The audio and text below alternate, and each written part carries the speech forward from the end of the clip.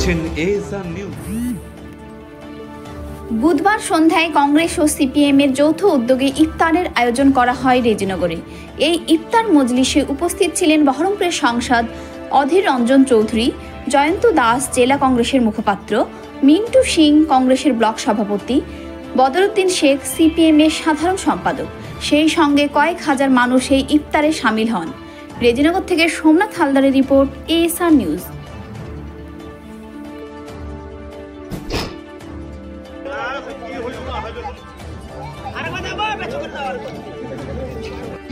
এই রমজান মাসের পবিত্র, এই রমজান মাস, আজকে তেইশে রোজা। প্রতি বছর আমরা এই রমজান মাসে আমাদের ব্লক কংগ্রেসের বেলডাঙ্গা টুয়ের পূর্ব চক্রের কমিটি থেকে আমরা একটা ইফতার দিই। সেই ইফতার আজকে দাদা সেখানে অংশগ্রহণ করেছেন আমাদের ব্লকের এই জায়গাতে। আমরা আমাদের সহযোগী বামপন্থী বদরুদ্দিন সাহেব থেকে আরম্ভ করে ওনাদেরকেও আমরা আমন্ত্রণ করেছিলাম, ওনারা অংশগ্রহণ করেছে আমাদের সঙ্গে। আমরা জোট হিসাবে আজকের ইফতারে আমরা সবাই মিলে একসঙ্গে আমাদের নেতা, আমাদের প্রার্থী, আমাদের সংসদ, তিনিও সেখানে উপস্থিত থেকে এই আমাদের আজকে যে ইফতার পার্টি, সবাইকে বসে নিয়ে আনন্দ, যে আনন্দের জন্য আমরা প্রতি বছর এটা করি, সেটাও এবারে তার কোনো বাইরে নয়। নতুন কোনো নতুন নতুন নয় যে আজ ভোট এসছে বলে হচ্ছে নয়, প্রতি বছর আমরা করি। এটা সবাই